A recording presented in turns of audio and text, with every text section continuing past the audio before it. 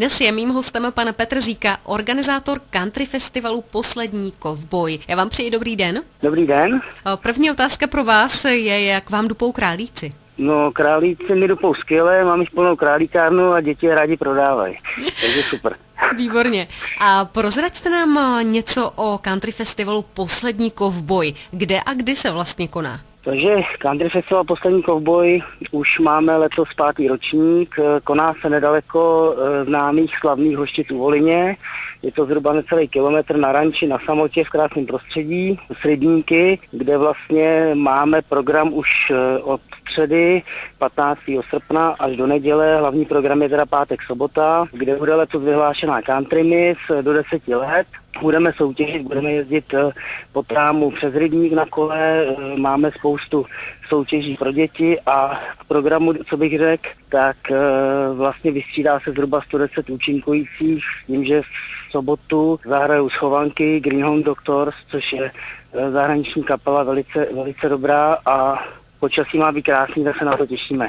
A řekněte nám, kde přesně se vlastně Country Festival koná? Na jakém místě? Je to v nějaké budově nebo na venkovním prostranství? Ano, takže festival od středy do soboty nebo do pátku do večera jede v obrovské kamenné stodole, která pojme zhruba 300-400 lidí a v sobotu je to pod stodolou na hlavní scéně vlastně pod širým nebem, kde potom probíhá hlavní program až do noci a po skončení hlavního programu se přemístíme zpátky do té stodoly, e, když už potom je samozřejmě v tu noc je méně lidí a jede se až do rána, zpívá se prostě a jsme v té stodole, takže, takže to zázemí je velice dobrý, máme zhruba pro 700-800 lidí i připravený sezení, že lidi nemusí sedět po zemi, můžou si to opravdu naplno užít.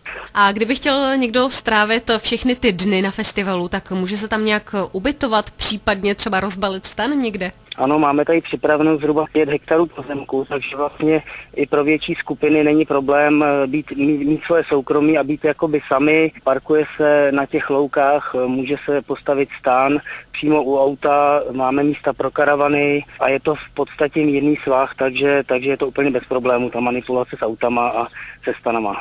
A milovníci country se k vám tedy dostanou přímo přes jeho českou obec Hoštice? Ano, dá se jet přes uh, Hoštice, což je asi nejlepší vodítko a z Hoštic už máme všude značení. Máme teda i z hlavních silnic na Budějovice, na Vodňany, i na Vimperk, takže vás to krásně navede až do areálu. Není to vůbec problém. A vstupenky se dají koupit přímo na místě? Vstupenky přímo na místě u brány, ano, kde dostanete i základní informace, kdo by teda o ně stál, kdo tady třeba ještě nebyl, takže uh, organizace opravdu je, je už vypilovaná za těch pět let, takže e, máme tady velice spokojení lidi a není žádný chaos. Jsou tady, je tady zajištění občerstvení, máme pět druhů piv, e, domácí maso grilovaný, takže, takže přijďte, bude to hezký. A na závěr by mě ještě zajímalo, jestli na tomto festivalu hraje nějakou roli třeba také vzpomínka na country legendu Michala Tučného. Určitě vlastně v tom prvopočátku to tady založili největší příznivci a kamarádi a vlastně uh, jsou kmenovci Michala Tučního, který v podstatě chtěli nějaký takovýhle stánek, kde bude ryze country, ryze folk